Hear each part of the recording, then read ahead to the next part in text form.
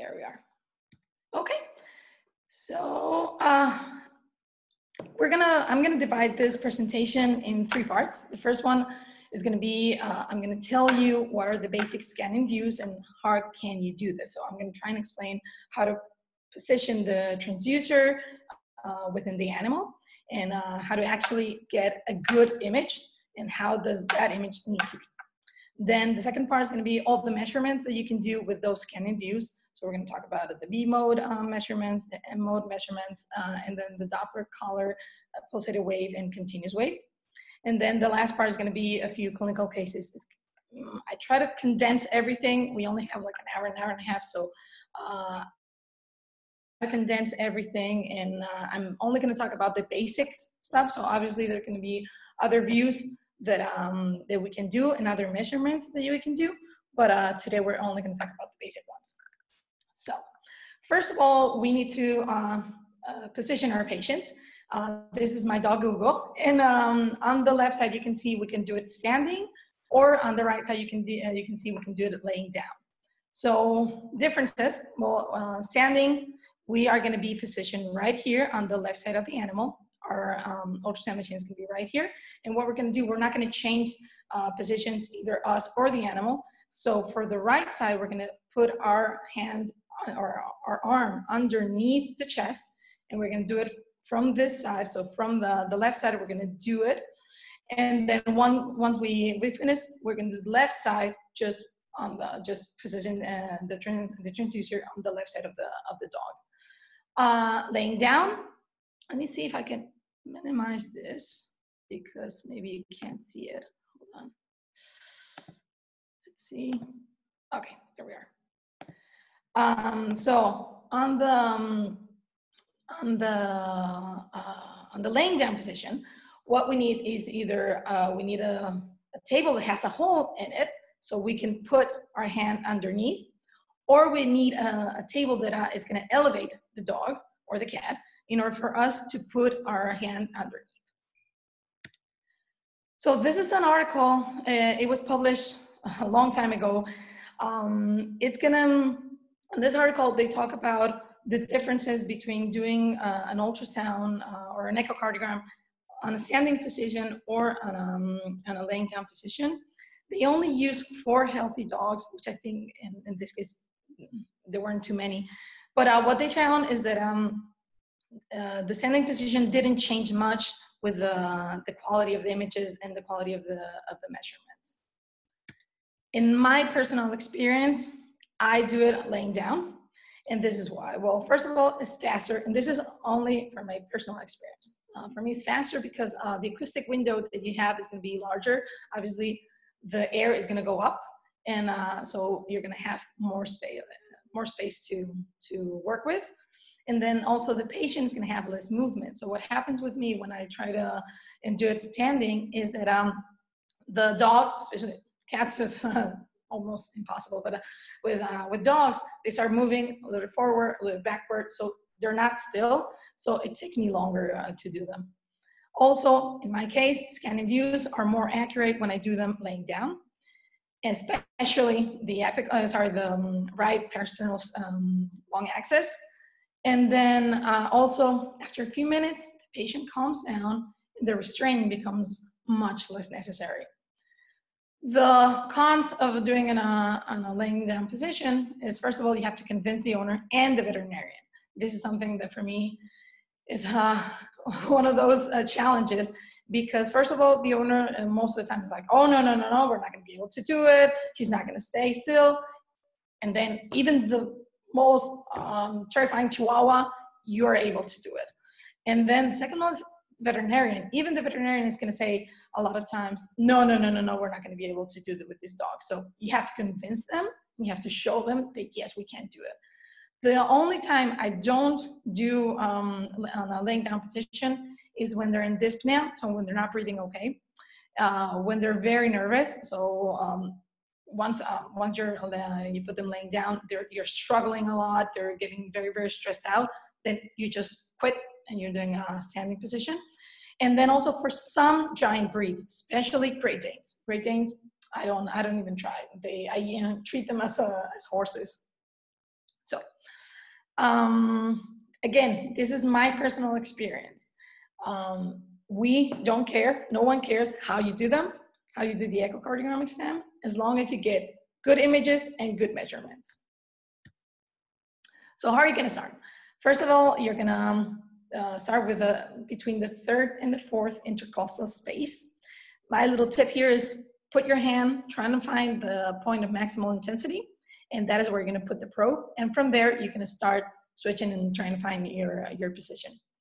With the feelings heart, uh, remember it's more aligned with the sternum, so you, you might have to move the probe closer to the sternum. And then just remember, if you're starting um, and you, you've done uh, abdominal ultrasound and you're starting to do echo, just remember the movements and rotations are done slowly and slightly. It's not like um, with the abdominal ultrasound that you can just move and the organ is just gonna stay there. the heart moves a lot, obviously it's pumping. So um, every little rotation, every little movement is gonna be uh, done slowly and slightly, or you could, use, uh, you could lose the entire. So let's start with the scanning views. The first scanning view that we're gonna uh, see, um, we're gonna talk about is the right parasternal long axis four chamber view. So right is on the right side, parasternal, we're gonna do it in between the intercostal space. Long axis, it means you're gonna see the long view of the, uh, of the ventricle. Four chamber view. So we're gonna have four chambers. The right atrium, right ventricle, left ventricle, left atrium. So how are we gonna position the transducer? Well, first of all, the marker is gonna be at 12 o'clock. So the spine of the animal is here, the head of the animal is here. So the marker is gonna be at 12 o'clock, and you have to make uh, an angle of 45 degrees between the thorax of the animal and the transducer. Once you're there, you might have to lift and drop a little bit, maybe rotate a little bit in order to get uh, maximized uh, left ventricle because this is what you want to get. So this is an optimized um, image. What you need is the long axis of the ventricle to be perpendicular to the beam. In this case, we have less of an angle. So we don't have a 90 degree angle, we have a little bit less. So when this happens, your position like this. When this happens, you just, you have to lift the tail towards the spine a little bit and the apex, so you can see here, the apex will drop while you're doing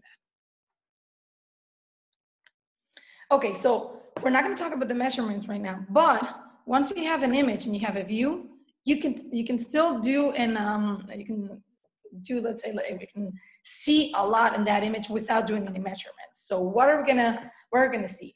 Well, first of all, the right ventricle anterior wall even though we're not measuring, just by looking at it, the right ventricle anterior wall has to be less than 50% of the left ventricle posterior wall. Okay, so again, not without measuring, um, you'll get used to seeing a lot of images, and um, but you'll see how to um, consider it if it's uh, if it's already thickened or not. Then the uh, tricuspid valve, you're going to see that it's a, a few millimeters more apical than the mitral valve. Then you're gonna see the interventricular septum.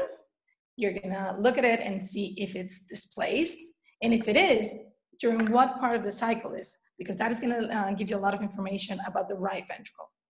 The interatrium septum, you're gonna see if it's normal, if it's straight, if it's towards the right atrium or towards the left atrium. That is going to tell you also about enlargement of the atriums. Then um, you're going to see the mitral. Is it thickened, like in this case? Or is it normal? Is it prolapsed? And then uh, this is something that is going to be very subjective. So you're going to see the left ventricle and the left atrium, are they enlarged? Again, this is something that is going to be subjective, but you can already have an idea once you uh, get this view. So in this case, we have here, we have a flattened interventricular septum. This is in telediastole and you can see here is not straight, is a little bit towards the left ventricle. Here, for example, we have, I put you the measurements here, but just so you get an idea, the right ventricular uh, anterior wall is more or less the same as the um, uh, left ventricle posterior wall. So you can see the, the measurements here is almost four millimeters and um, this one and almost five. So they're more or less the same. It should be uh, less than two and a half. Okay, so you can already have an idea of that. Here we have a normal mitral valve, it's thin, and we have here, we have a thickened mitral valve, so you can see it right there.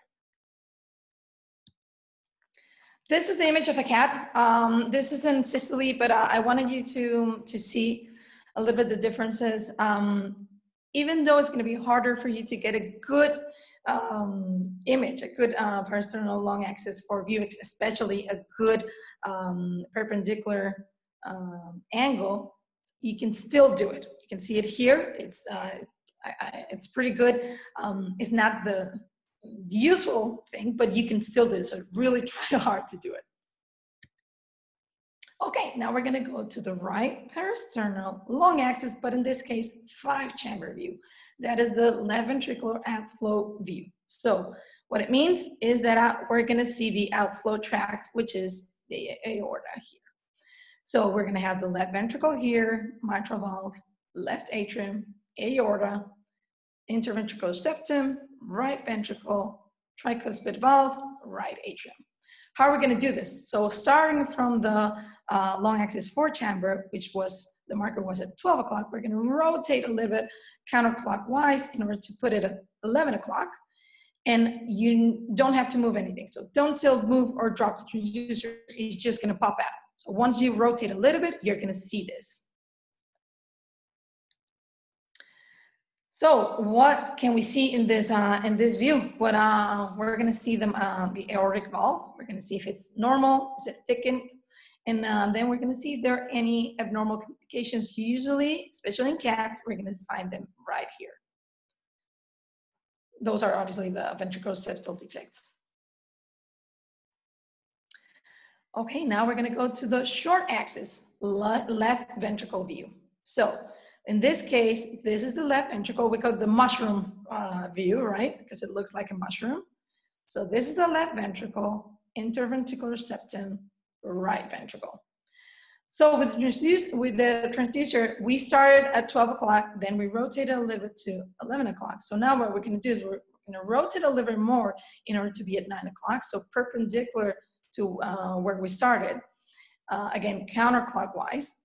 And once we're there, we're gonna optimize the view by fanning the tail. So we're gonna go towards the, the spine or the sternum in order to go apical or uh, more to the heart base. That way, you're gonna optimize. If you wanna see the apex, you're gonna um, tilt the, the tail towards the spine. If you wanna uh, see more of the, of the mitral valve, so more towards the heart base of the, of the heart, sorry, the heart base, um, then you're gonna um, put the tail, bring it towards the sternum.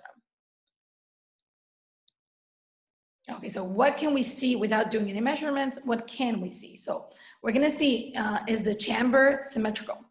Are the papillary muscles, which are right here, are they similar to each other?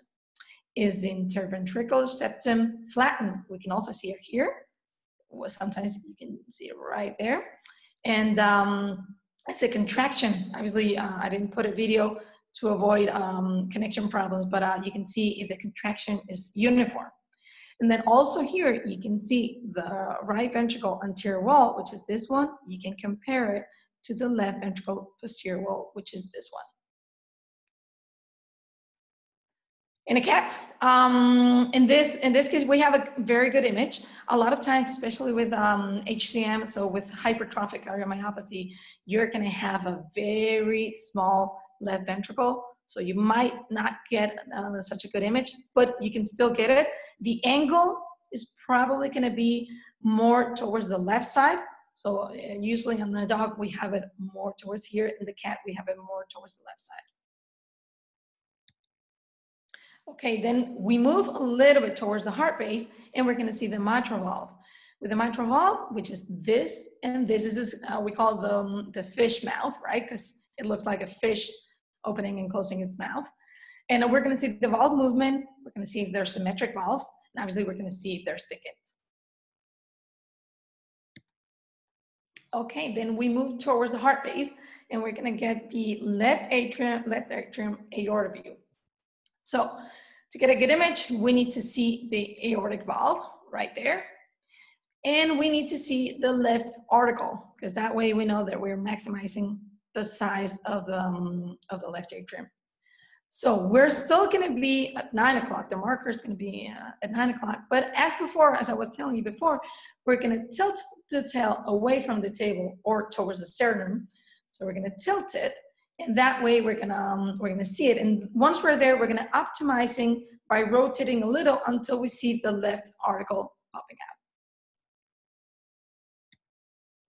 This is the same thing in cat. Uh, a lot of times you don't get um, such a good image, but again, try and try because cats, I know it's uh, that fear of uh, doing a cat, you can still get good images. So just uh, do a lot of them and uh, you'll, you'll just get the hand to do it. Okay, then we're gonna be always with a heart base, always in short axis, but now we're gonna concentrate on the right ventricle, outflow tract, and pulmonary artery view.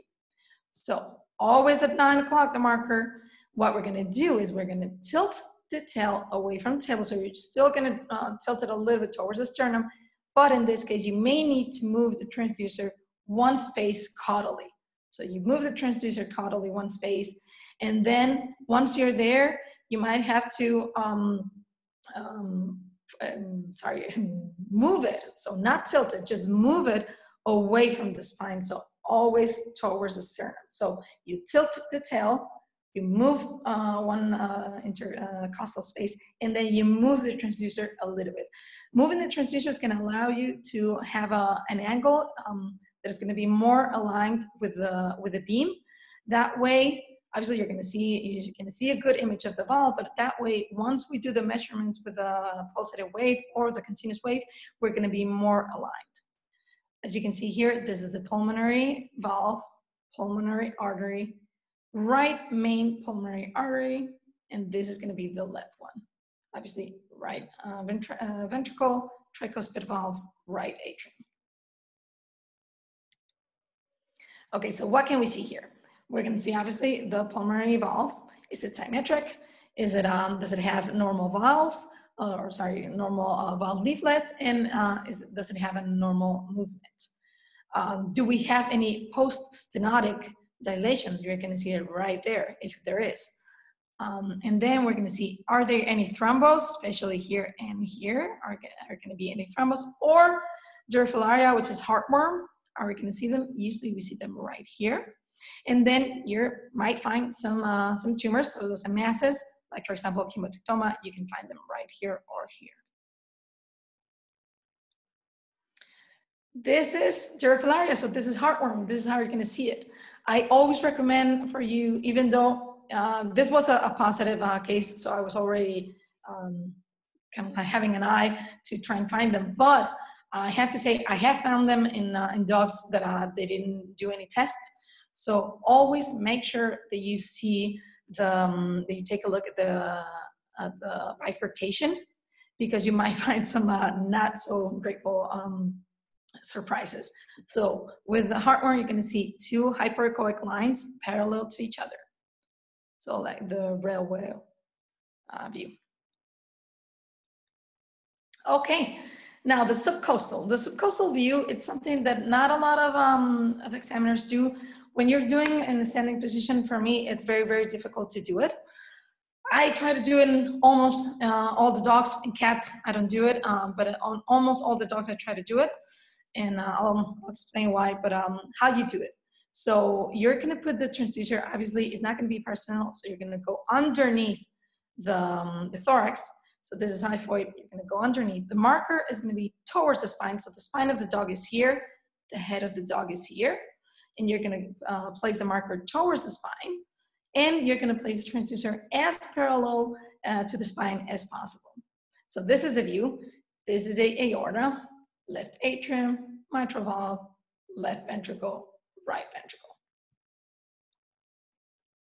And this is why, because once we, um, we have it here, we're gonna be much more aligned to get a pulsated wave um, and continuous wave measurements. So in order to get uh, obviously the positive uh, or the aortic flow, we're gonna be more aligned. And also when we have an insufficiency, we're also gonna be more aligned. So I try to do it uh, in every dog. Okay, then we move to the left side. So we're gonna be in the left parasternal apical four chamber view. Okay, four chamber, one, two, three, four. Mitral valve, tricuspid valve. So how are we gonna do it? We're gonna place a transducer um, with a 30 degrees. So the thorax is here, the transducer has to have a 30 degree. And the marker is always gonna be towards the spine. So here's the spine of the dog, you're gonna place a marker towards the spine. So most of the times you're gonna get this image. So uh, with this image, it's okay, but the thing is, uh, with a lot of measurements, is not um, is not the optimal um, view. So what we're gonna do is we need to have the um, the long axis of the left ventricle has to be parallel to the to the beam. So what we're gonna do, we're gonna move the transducer towards the sternum. So you have this view, you move the transducer towards the sternum, again, not tilting, just moving it, and that is gonna make that the apex goes to the right side, and you're gonna get this view. So what are we gonna see here? Well, we're gonna see the valve movement, obviously. We're gonna see the mitral valve appearance. So is it thickened? Is it prolapsed? As in here, you can see that it's a liver prolapsed, um, the anterior leaflet. Is it dysplastic? Then we're gonna see the tricuspid valve. Is it dysplastic also? So is it, uh, how is its position um, compared to the mitral valve? It has to be a few millimeters, but when you have it here, you know, it might be a um, tricuspid dysplasia. And then always subjective, we're gonna check the left of the chamber. So we're gonna check the left ventricle, the left atrium, the right ventricle, and the right atrium. Then we're gonna move to the five chamber view. So how are we gonna move? Again, not, not, moving anything first. The marker was here towards the spine. We're gonna rotate the transducer counterclockwise until the aorta appears. So you just, again, very, very slight moves, you rotate it a little bit and then it pops out the aorta. Once you have it, you might have it, especially with cats, you might have it right here. So you're not gonna get a good angle. This is why I usually do the subcostal. So in order to get a better angle, what you have to do is you have to tilt the tail away from the table. So towards the sternum, you're just gonna tilt it to align the aorta to the beam. Again, aorta, left atrium, mitral valve, left ventricle, right ventricle. What we're going to do here, well, more or less the same as uh, as we did uh, with the subcostal. So we're going to see the valve movement and the anatomy. So do we see any changes? Okay, and then last but not least, uh, we're going to do the left parasternal apical optimized for the tricuspid valve. So this is something that not a lot of people are used to do. I strongly recommend it because um, you're going to get a good image of the tricuspid valve. And also, explain later, also you can, um, mm, you're going to get a, a, lot of images in order to, um, uh, let's say, um, do measurements for the, for the right ventricle. So from the um, apical four chamber view, you move the tail towards the spine. So you tilt it a little bit towards the spine you move one intercostal space cranially, and then you rotate the transducer counterclockwise. It seems like a lot of stuff, but once you get the hand, it's not so much. So tilt the tail, move one intercostal space, and then rotate a little bit until you get a good image of the tricuspid valve. like here, for example, you have a good image. The angle, obviously, you're tilting the, the tail towards the spine. So obviously, the angle is not going to be as parallel as the, with the apical four chamber view. But we need to see this part, so this doesn't matter. But you can see here, this was um, a prolapse um, tricuspid valve. So it's very good to get a good image of, uh, of this area. Also, with the mitral, I'm sorry, with the tricuspid regurgitations, you're going to be more aligned also to get um, to get a good uh, a good wave. Okay, now we're gonna start with the measurements. So right parasternal long axis view, obviously the four chamber long axis view. So with the B mode, we're gonna measure the mitral annulus, the left atrium width, the ejection fraction with the Simpson method, and the ventricular wall thickness. With the M mode, I'm gonna explain it, so don't worry. With the M mode, we're gonna do the uh, E-point septal separation. With the color Doppler, we're gonna see mitral regurgitation or any abnormal communications like uh, ventral, uh, ventricular septal defects or uh, atrial septal defects. And then with the continuous wave, if there are any abnormal communications, we can, we can measure them. So the mitral annulus. So what we're gonna do is um, we're gonna draw a line from hinge point to hinge point of the mitral valve. That is gonna be a measurement. And you can see here, um, there's an article that uh, explains very good, it's, uh, it's been in published in the last few years. And um, uh, it explains that uh, they did, uh, they came out with uh, some normal reference, reference range and what we're going to do is we're going to measure the mitral annulus in diastole, which is in end diastole, in systole, which is going to be in end systole. You can see here uh, for the diastole, it's going to be the first frame after the mitral valve closure. And then for the systole, is going to be the frame prior, the last frame prior to the mitral valve opening. So both of them are going to be the mitral valve closed.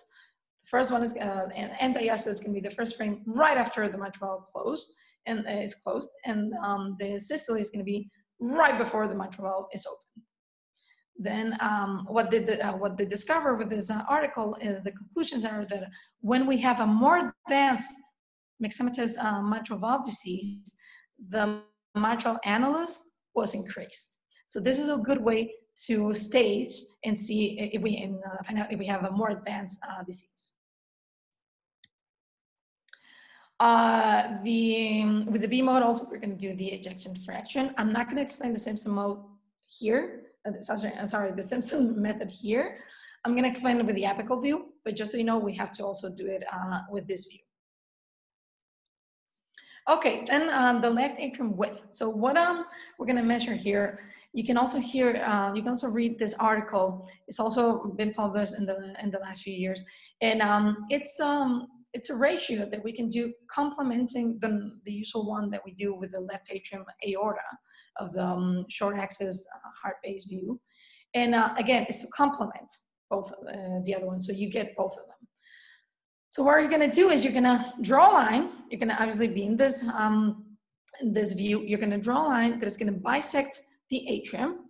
It's gonna be in end diastole. So again, one or two frames right before the opening of the um, of the mitral sorry, end systole, and because that's gonna where we're gonna have the maximum um, size of the left atrium. So end systole, we see when the mitral valve is opening, then we go back a little bit, one or two frames right before, and we draw a line that is gonna go from mid atrial septum to the pericardial echo.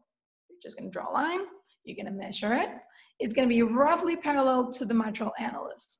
Okay, so you can imaginary see the mitral annulus, draw a line.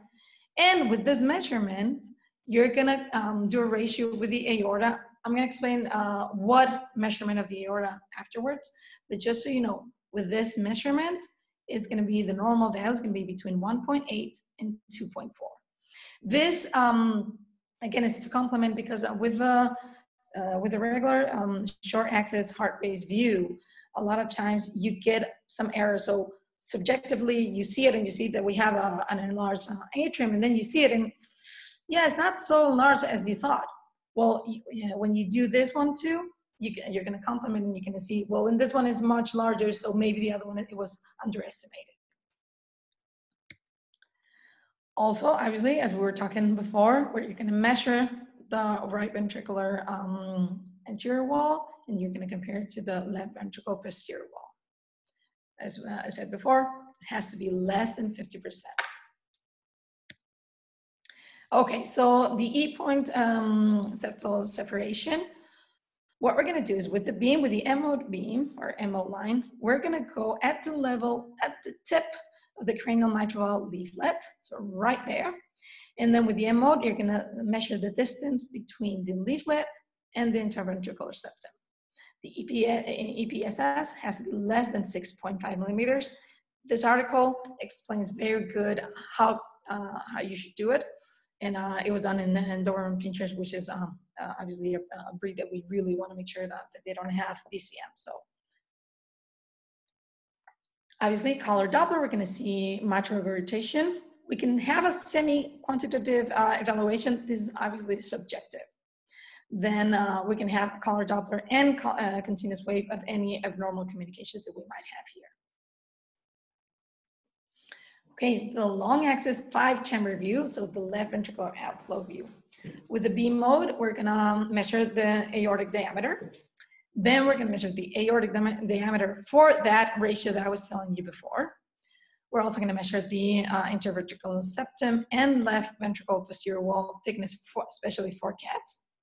Color Doppler, uh, we're gonna see if there's any aortic insufficiency, if there are any abnormal communications, if there's an outflow obstruction, like for example with uh, systolic anterior movement with uh, HCM in cats, or if it's a turbulent flow. We're also going to measure with a continuous wave of any abnormal communications that we find. So the aortic diameter, as with the mitral hinge point to hinge point of the, of the aortic valve. Okay, so for the ratio I was telling you before with the left atrium width, what we're gonna do is uh, you're gonna um, you're gonna measure the, the distance between the leaflets at uh, the point where the um, aortic valve is open, so it has uh, the maximum um, diameter. And this is gonna be, as you can see here, an early systole, okay? And you're gonna measure, you, you're not gonna include the Valsalva sinus. In this case, with the interior leaflet, you might have to, just because you can't see it here, but especially in this, you have to make sure that you're with the uh, aortic leaflet and not including the Valsalva uh, sinus. This is what happens also with, um, the short axis um, heart-based view, is that a, a, lot of times we, can, we consider those, so we're overestimating the aorta, so the ratio gets, uh, gets lower. Okay, so uh, we're gonna measure also the interventricular septum and left ventricle posterior wall thickness, especially in cats. We consider hypertrophy when it's over six millimeters, but be careful because some breeds are not uh, considered um, the, um, I'd say like the limit is not considered six millimeters. It can be considered five millimeters, like for example with Sphynx cats. So be careful with some breeds. This is another article that you can read uh, and it, it's very, very good uh, explaining how to do the measurements. And, uh, but um, I'm gonna try and go over it. So what are you gonna do? You're gonna uh, make four different measurements all along the wall. So one, two, three, four, one, two, three, four.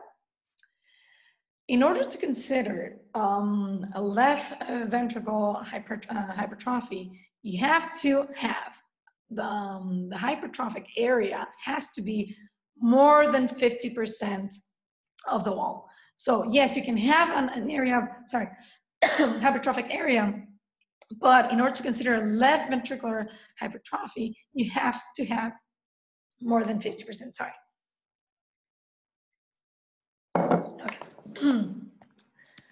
So you're also gonna see if that hypertrophy is gonna be symmetric or is it gonna be uh, asymmetric. And then once you um, have a left ventricular hypertrophy, you're gonna have to exclude hypertension, dehydration, and hyperthyroidism. So obviously, some of them you can um, exclude right away with dehydration. You can you have the animal in front of you, so you can just see it.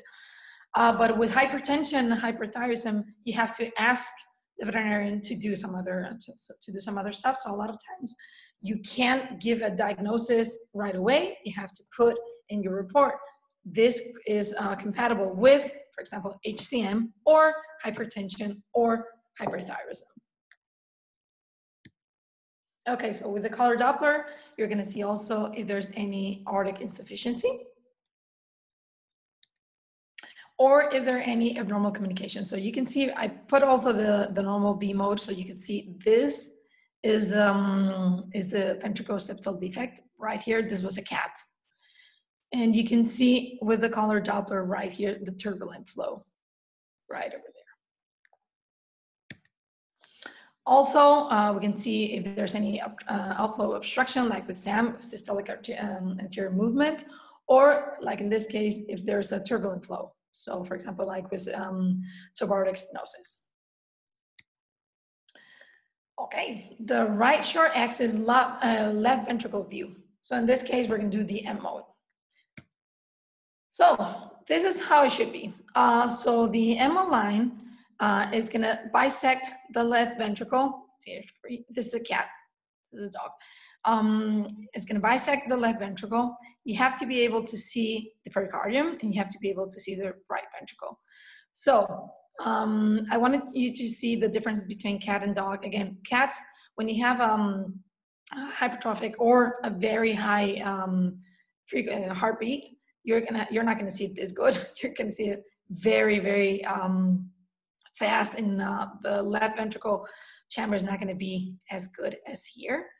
But uh, again, when you have a normal cat, you can definitely get good images. Uh, you can see this would be not the best one because you can only see a little bit of the right ventricle. Here you can see also uh, a little bit, but here would be the, this would be the best. So right ventricle, interventricular septum. We bisect the left ventricle into two equal parts. And um, we see the pericardium, and we're able to see a good chamber, a good interventricular septum. That way you can do all the measurements. Okay, so how are we gonna do the measurements? Well, um, with uh, this, um, what you have to kind of like uh, keep in mind.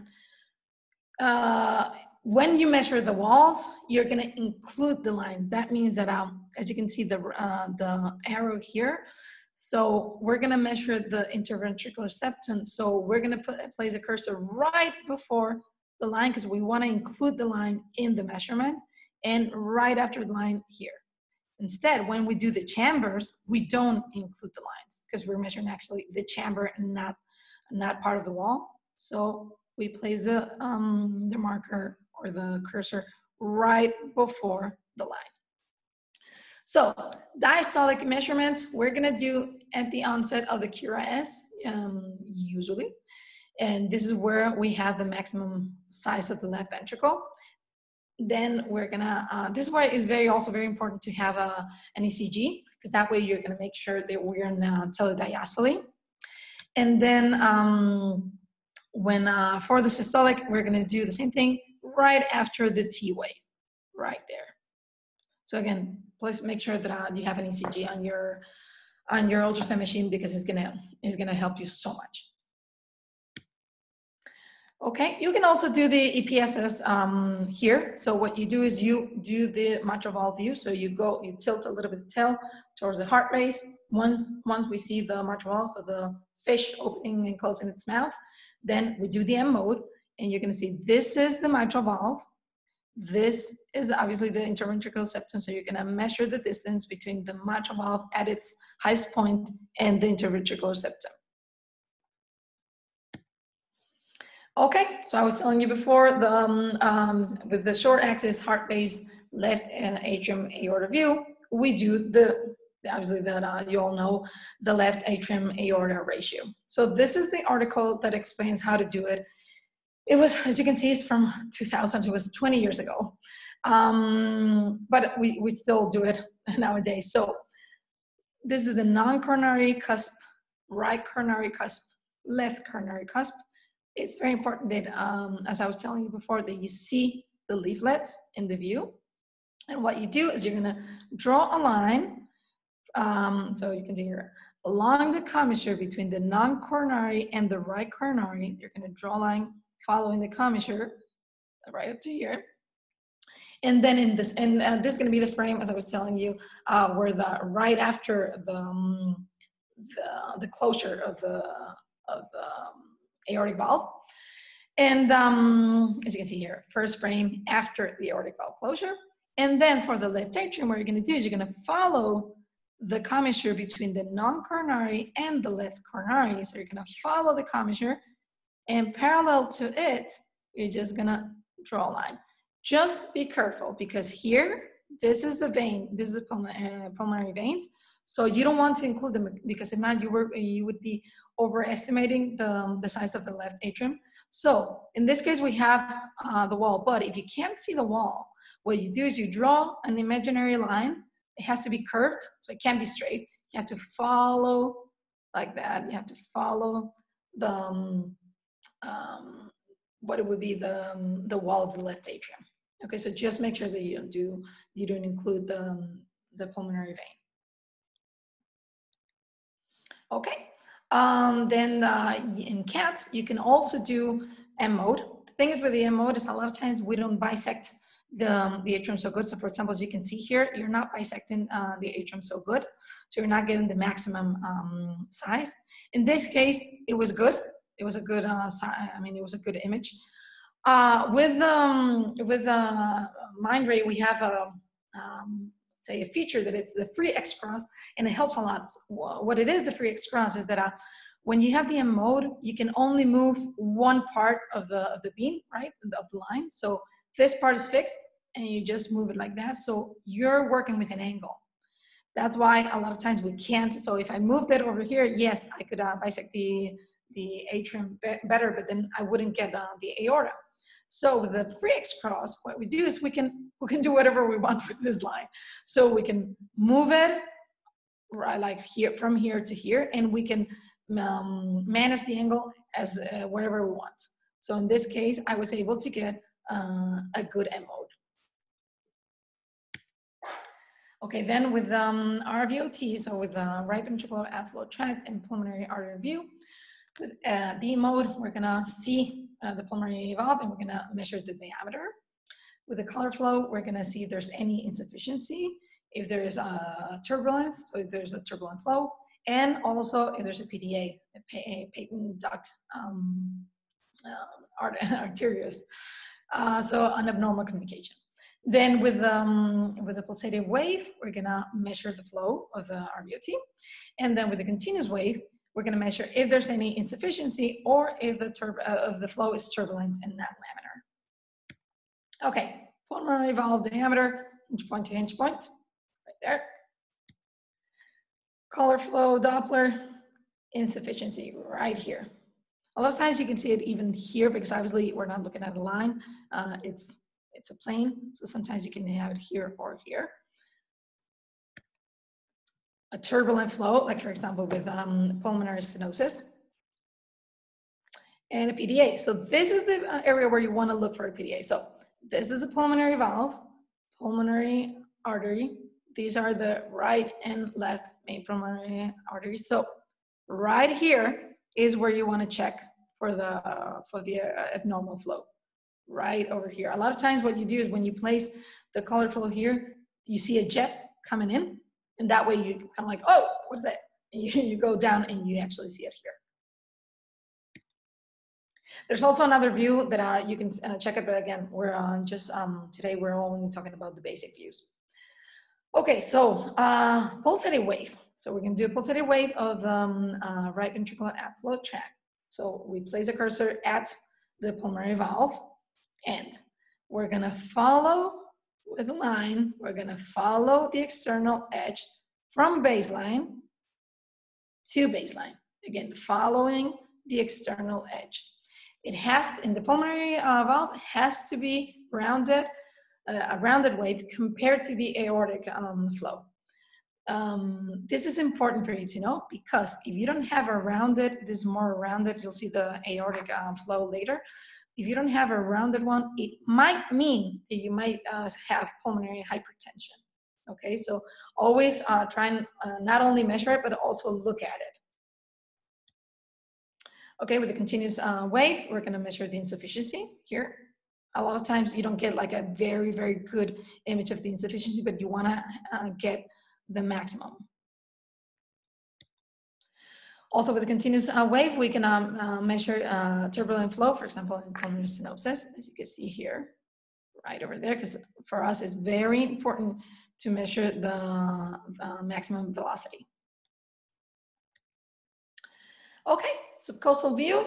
Um, again, this uh, is something that, uh, that is very useful for aortic insufficiency that you can measure with the color Doppler.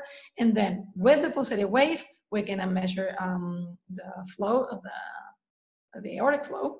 And if there's any insufficiency with the continuous wave, we're going to also measure. So here you have an insufficiency. This is a very tiny insufficiency, but still uh, is easy for us to measure from here. As you can see, we have a very good angle. Okay, so uh, remember the one for uh, with the, um, the wave for the pulmonary flow? It was much rounder. You can see here is sharper. So this is what uh, an aortic flow has to look like. This is a laminar flow. Um, we can use the continuous wave when we have either a high velocity, so we have a laminar flow, but uh, it's not enough with our uh, with our pulsated wave to get the maximum uh, velocity. So then we use continuous wave just to get the the maximum velocity, or when we have a turbulent flow. And then we can do an aortic insufficiency, as you can see right here. Okay, then we go to the um, left parasternal apical four chamber view. So um, with the B mode, we're gonna do the Simpson method uh, that we're gonna explain right now. Uh, with the color Doppler, we're gonna see any mitral regurgitation. With the pulsated wave, we're gonna measure the transmitral filling pattern. And then with the continuous wave, we're gonna measure the mitral regurgitation. So let's start. Okay, the Simpson method. Um, so we're gonna get two images. I always recommend when you're doing uh, an echo, get all the images, even though you don't have to do all the measurements, get all the images and videos because maybe in the future you wanna do a measurement. So always get all the measurements and videos, uh, especially videos. So uh, once you do, um, the, for example, the right parasternal long axis view, take a video, I recommend not of one or two. I recommend like four or five uh, heartbeats in one video because that way you can see, especially when we have, for example, uh, sinus arrhythmia. So four or five uh, beats, take a, yeah, it's probably like maybe like four or five seconds video. Um, then take images, obviously take uh, pictures. But um, with the apical view, we're gonna do the same thing. So you get a video of um, of a, a, long, I would say like a, a long video, because that way you can make sure that you get the best image that you can. So uh, we're gonna measure two different uh, images. One of them is gonna be in end diastole. So as we've been saying uh, all the way through the presentation, it's gonna be more or less at the QRS uh, onset. Sometimes a little bit after, as you can see here, in, my, in this case, it was right after uh, the R wave, so at the end of the R wave. Uh, what you want to make sure is that uh, mitral valve is closed and we have the largest volume, so they have the largest size. Then with the systole, we have, going to mm, sorry, we're going to do the end systole, and it's going to be the frame before the mitral valve opening, which is usually after the T wave. Okay, so what are we going to do? Um, with the with the Mindray, you can either do the automatic or the um, or the manual one. So with the automatic um, method, or you're going to use, you're going to draw the line with the base of the mitral annulus right there. Then you're going to draw a line of the maximum length of the left ventricle, and then automatically it's going to um, going to tell you what is the area. But then you have a little hand that you can um, correct a little bit because obviously it's not perfect, uh, but I have to say it's pretty good. So you might have to correct it a little bit in order to follow all of the endocardium. Same thing with the with this um, systolic one. With the manual one, what you do is you just follow the endocardium all the way uh, left ventricle and mitral valve. And then it's just gonna um, calculate the area by itself. Okay, so here you have two uh, good articles about um, the Simpson method. And this is in two breeds that are, uh, it's very important to do the, the Simpson method. I don't do it with all the dogs, I have to say. Uh, I usually do it when um, when you are so sure the, uh, the volumes that you get with the mode are, are accurate, or um, especially with dogs that are, you, you want to make sure that you have a good, um, a good measurement of the ejection fraction. So um, this is an article about boxers. So it's going to give you breed-specific uh, reference ranges. And this is uh, a very good article about uh, the guidelines for uh, dilated cardiomyopathy and uh, for screening um, guidelines for dilated cardiomyopathy in Dobermans. Okay, so um, end diastolic ventricular index. So this is index to the body surface area. The normal ones are going to be between 49 and 93. And uh, the end systolic ventricular index, uh, sorry, volume index is going to be between 22 and 50. So these are the normal ranges. In Dobermans, from this article, we can see that um, the end diastolic volume index, again, to body surface area, is going to be less than 95. And the end systolic volume index is going to be less than 55. If we have something over this, these ranges, then indicates occult DCM. So even though you don't have anything else, you just have this, it indicates uh, occult DCM. So take a look at, uh, at this article because it's, um, it's very good. There's something that I forgot to tell you, but um, what we have to do is, I, I, was telling you before, we have to measure both. So we have to measure in right parasternal um, long axis view and apical view. We do the uh, Simpson method in both, and we use the largest volume. Okay, then we do with the color Doppler, we're gonna see the mitral regurgitation. So in order to, um, let's say, measure the regurgitation, um, there are very different ways and uh, they're, I have to say they're a little bit complicated and long. So uh, a way that we can use that is easy and very fast it obviously has more errors, obviously because it's very subject, uh, subjective. But uh, what, um, what we can do is we can uh, measure a ratio between the regurgitant jet area signal, which is going to be this, and the left atrium area, which is going to be this. So as you can see here, this is going to be the um, regurgitant jet area signal. So you have to compare this to the whole area. If it's less than 30%, we have a mild regurgitation. If it's between 30 and 70%, we have a moderate. If it's over 70%, we have a severe regurgitation. Again, this is something subjective. Um, you have to make sure that you get a good image of, um, of the whole jet. And in this case, for me, it would be a moderate. We're all almost close to severe, but um, for me, I would say that this is kind of like a two thirds, so it's 60%, so it's still moderate. And we're going to do the transmitral uh, filling pattern or diastolic filling pattern is the same thing. Um, what we're going to do is we're going to place the cursor, so the two lines, we're going to place them right uh, where the tips of the mitral leaflets are in, in dia uh, sorry, in early diastole, okay?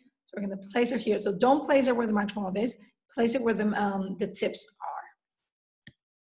This is where you're going to get. You're going to get this type of wave or this or this or this. Or these are the four patterns that you can get. The normal pattern, the ratio between E and A, which um, once you measure it, uh, the machine is gonna automatically calculate it for you. So it's gonna be over one. The deceleration time is gonna be of the E wave, is gonna be between 52 and uh, 108 milliseconds. When we have an impaired relaxation, for example, when we have um, either HCM or, for example, um, systemic hypertension, we are going to have uh, the EA ratio. It's going to be less than one, so it's going to be the opposite. The deceleration time is going to be normal. With pseudonormal, we're going to have uh, the EA is going to be same thing as um, normal. is going to be over one. The deceleration time is going to be either normal or decreased. So you're going to ask yourself, so how can we uh, differentiate between these two? you might have to, to do the tisular Doppler. And then uh, with the restrictive filling, uh, we're gonna have the EA is gonna be way over one, usually considered two.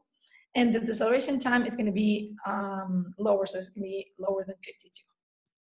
So, E wave goes for early filling, right? So it's gonna be between the T wave and the P wave. Very important that you get an ECG, because if not, uh, for example, when you have a sinus arrhythmia, you're not going to know, or when we have a, a very fast um, heartbeat, you're not going to know which one is the E, which one is the A, and you might uh, just confuse an impaired relaxation with a pseudonormal or the opposite. So always try and get an ECG. Um, then you can also do the TDI, obviously the Tisular Doppler. Um, but yeah, so the E wave is going to be between the T wave and the P wave. The A wave is going to be more or less at the onset of the QRS. So right there. When we have a very, um, a very increased heartbeat, we, uh, the, the waves can be fused, so you're not gonna be able to differentiate both waves.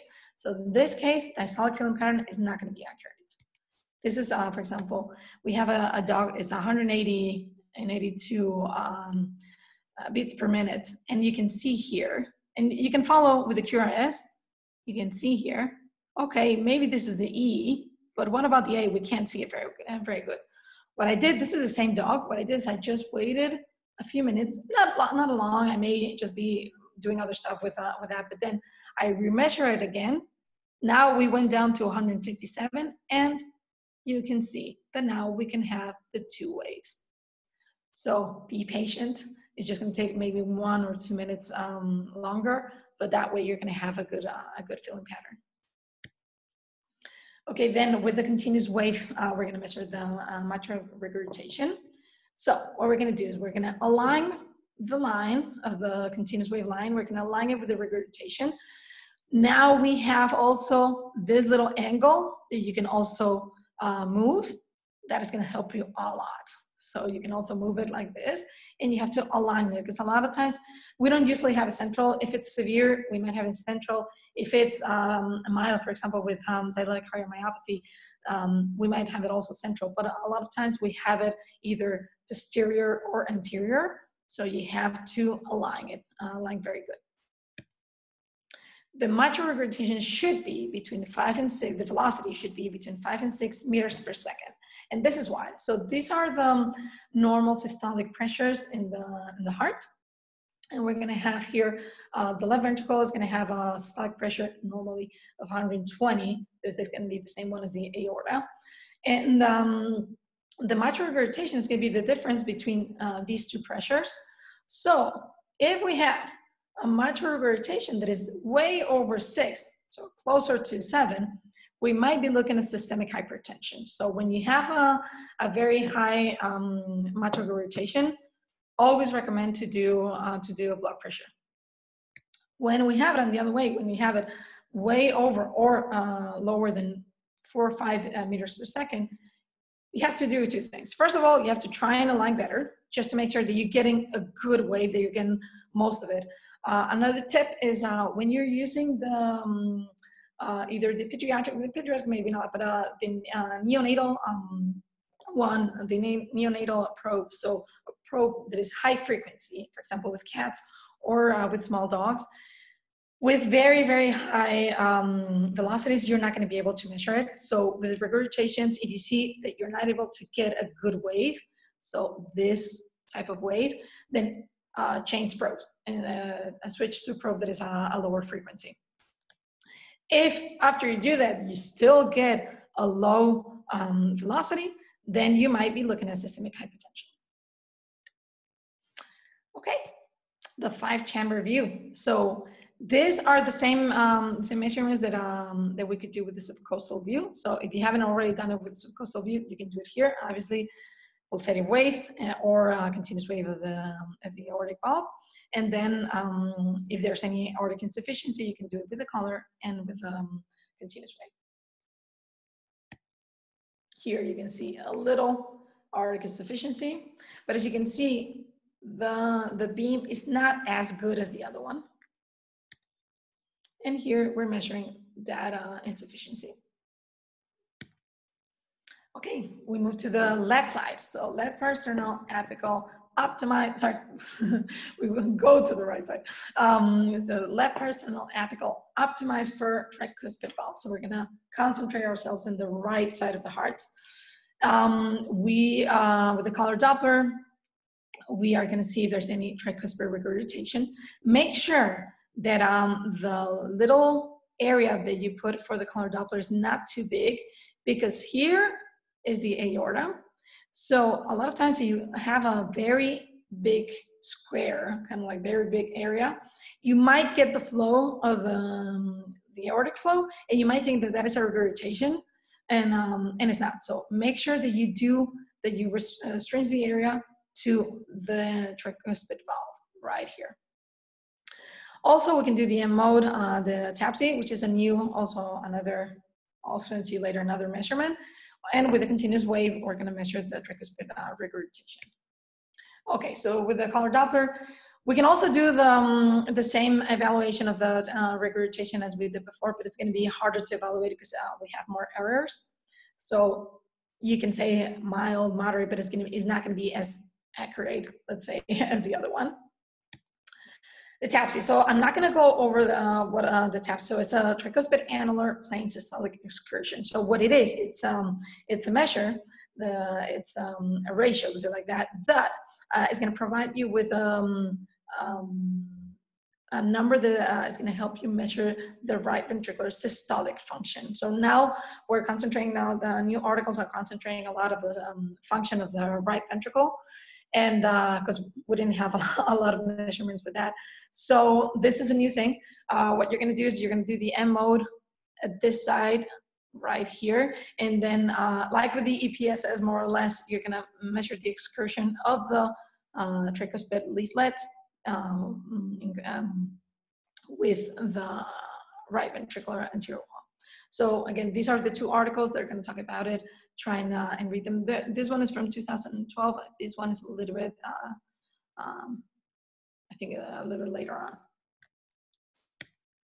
Okay, and then the continuous wave. Um, we're going to measure uh, the tricuspid regurgitation. Same thing as with um, with the uh, mitral regurgitation. So we have to align very good. And in this case, it's very, very important because most of the times we're going to have a regurgitation that is going to be posterior. So the direction is going to be towards uh, the outside of uh, part of the, um, of the heart. And that a lot of times is not to, when it's anterior, it's very hard to align. But uh, when it's posterior, also, you're to have to uh, optimize the view uh, to be aligned very, very good. And just make sure that you get um, when you when you have the feeling that you, uh, you're to be getting um, high velocity switch probes. Even though you lose the quality of the image, you're to gain um, the, um, the, quality of the of the Doppler, and that is going to that is going to be uh, obviously going to switch from being a normal dog with a tricuspid regurgitation or a dog that it could eventually have um, pulmonary hypertension.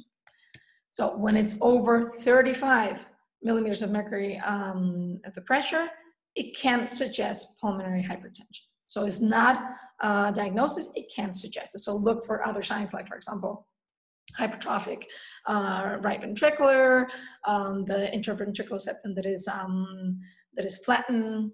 So look for those. Okay, and then uh, clinical cases. So I put uh, two Mm, I think we're good with the with the time. Um, so Luna, Luna here, um, she's a mixed breed um, dog.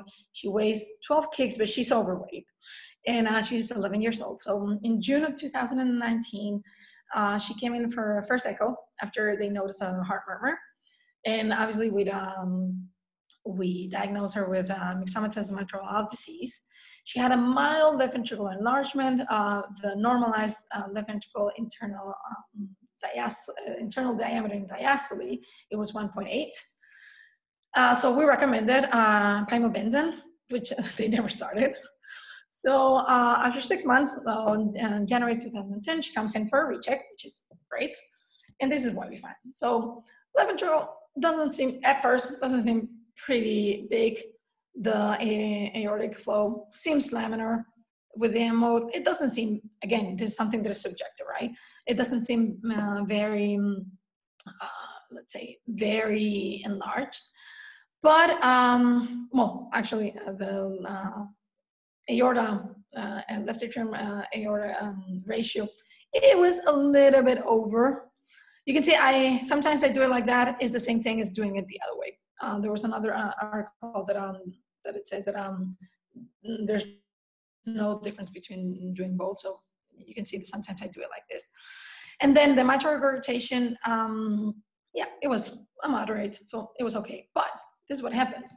With the subcostal, we have, um, it was laminar, but we have a very high velocity uh, flow. So in this case, it was over two, usually up to one, one and a half would be okay, but this was over two.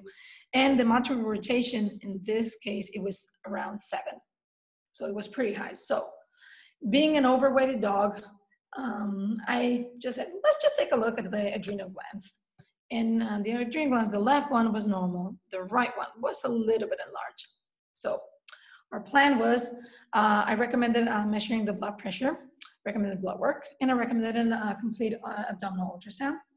So with the blood work, it showed elevated uh, liver enzymes. The blood pressure showed systemic hypertension. It showed uh, 200 um, systolic arterial pressure And then uh, the abdom- uh, abdominal ultrasound showed enlarged uh, right adrenal gland and the liver. So they did uh, the ACTH stimulation test, and it was in the gray zone. Also, well, seeing that it, it was in the gray zone, um, we said let's measure the water intake, and it was normal as for the as for the owner. So we didn't start any treatment for uh, Cushing's disease because we didn't have a diagnosis of Cushing's disease. But I started uh, treatment for the obviously for the high blood pressure. So amlodipine. The thing is that we're not we're still not uh, able to control it. We have lowered down to 180. Then we obviously we changed the dose. But uh, a few weeks ago I did it again. It was still 187. So now the plan is first of all repeat the blood work to see if anything has changed. Because now right now we're June. It's been six months. Um, we're going to repeat the ACTH test, maybe do a low dose on dexamethasone stimulation test we're going to recheck the ultrasound, um, the abdominal ultrasound, maybe do a contrast and enhanced ultrasound of the right adrenal gland to see if it's maybe a pheochromocytoma and it's not Cushing's disease. And uh, uh, I also recommended to recheck echo, so we'll see. The thing that you have to take uh, home of this is that uh, without the echo, we would not have been able to, to find hypertension because there weren't clinical signs as per now. Obviously, later on, uh, we'd find it out maybe because uh, she would be blind, or maybe because uh, she would start drinking a lot because uh, she had um, she had kidney disease. So it's very important that we do all the measurements because a lot of times we find out things, uh, not very surprising things, but uh, uh, it's very important that we do all the measurements. And then uh, case number two is evil. Yes, her name was evil. she wasn't as evil, but uh, she wasn't also an angel. Um, she was a, she is a Sphynx cat. Uh, she's a female and she's 10 months old. So they called me for a breed screening and uh, they wanted to make sure that um, she didn't have HCM. And um, the thing is they, they thought she was pregnant because uh, she, had like a big abdomen. Um, there were no murmurs and, uh, during the auscultation. So this is what we found. Well, I didn't find HCM. Uh, it was 4.8 millimeters, and Sphynx is up to five. So she didn't have uh, HCM, and um, and I have to say most of the rest of the uh, of the echo was almost normal. But what we can find here, here, here, and here is an uh, ventriculoseptal defect. So um, again, this cat was complete normal, and uh, she was um, she didn't have any murmurs or anything like that. So I checked her abdomen, just praying that she wasn't pregnant, obviously.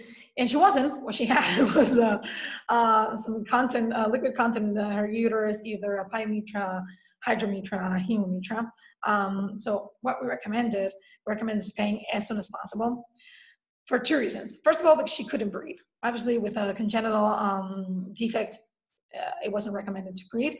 And then obviously because it was dangerous uh, for the patients. So what you have to take home uh, from this is that uh, we need breed screening. is It's imperative, it's necessary for two reasons. Uh, for uh, patients that are gonna be breeding, obviously please before they get pregnant because a lot of times they come in oh they uh, she just had a litter and uh, in order to give them away we need uh, we need um, an echo to say that uh, she doesn't have HCM, and then boom, she has other things.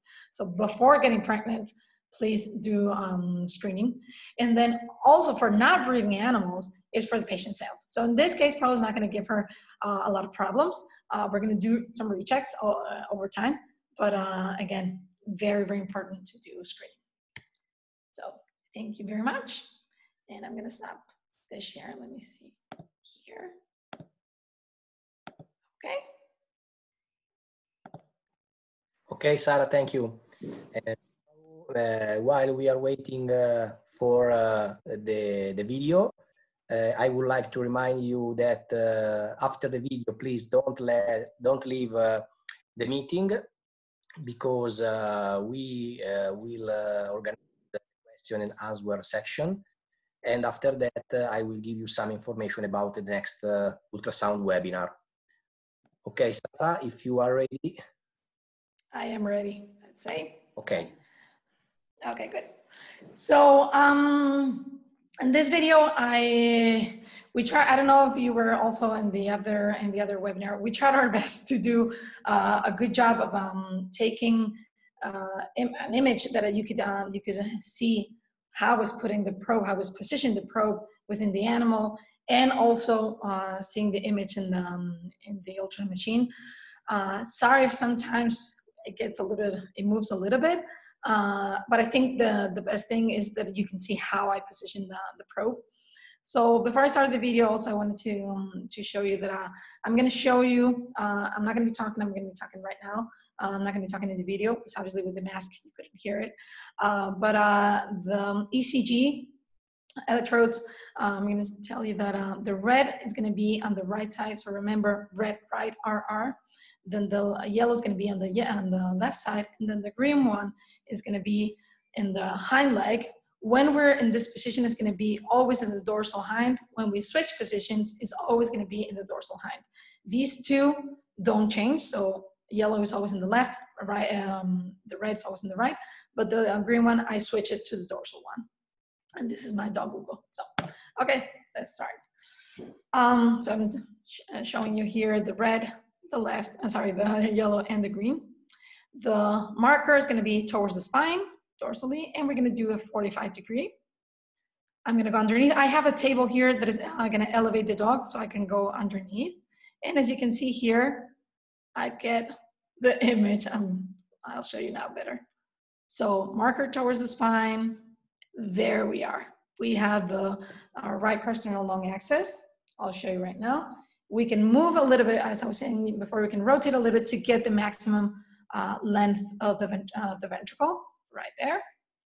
You can't see the ventricular uh, outflow flow, so right there. Sorry, outflow tract. so I'm doing a video, I'm taking a video of that. And then I rotate it a little bit to take uh, the five chamber view right there that I'm showing you the aorta, left ventricle, left atrium, right ventricle and right atrium. So what I did, I'm going to show you now with the hair. I rotated a little bit, so from 12 o'clock to 11 o'clock without moving the, the transducer, just rotating a little bit. So I placed the color Doppler. Let's see, oh, I took a video of that. and I placed the color Doppler. You can see that I, uh, the area is switched in order to be long. And then I'm gonna do the short axis. So we're starting like this, then like that, and then 90 degrees with the first one. And then we optimize by just fanning the tail. As you can see here, there we are.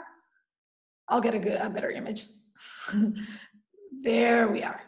So we fan uh, to, uh, with, the, um, with the tail towards the spine in order to be right underneath the mitral valve right there.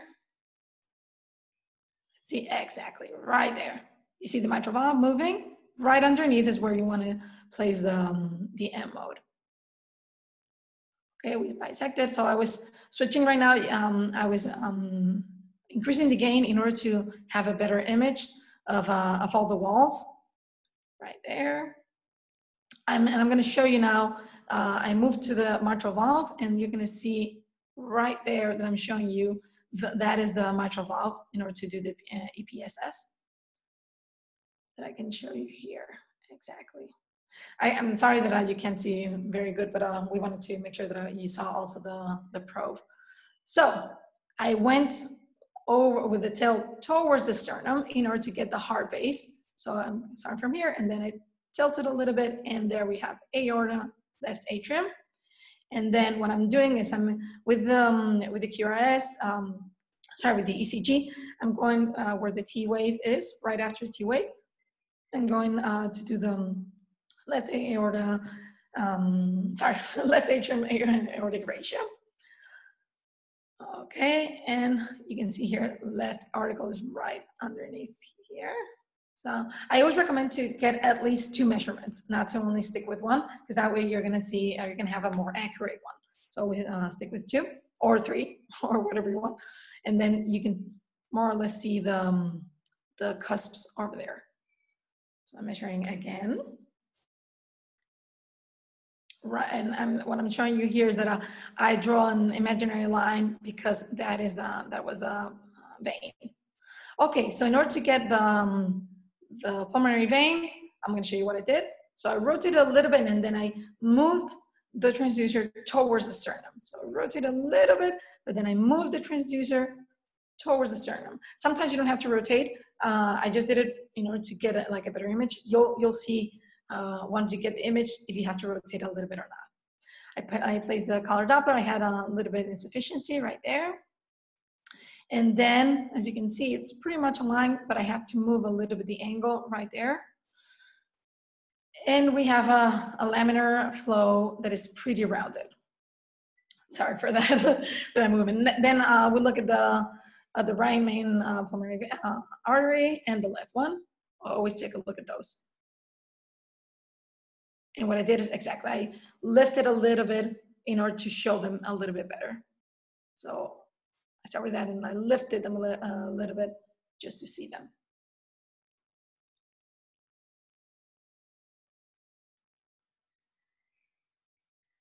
Okay, now we're gonna do the subcostal. So the marker is gonna be towards the spine and I'm gonna go underneath. This is the diaphragm. This is the liver. Uh, here I needed a little more gel and more alcohol, so please be patient. I'll, I'll show you now um, what it was. Obviously, it was a little bit dry, so I, I wasn't getting a good, a good image. So marker towards the spine, and we go from underneath. So liver, diaphragm, and I'm moving a little so you can see.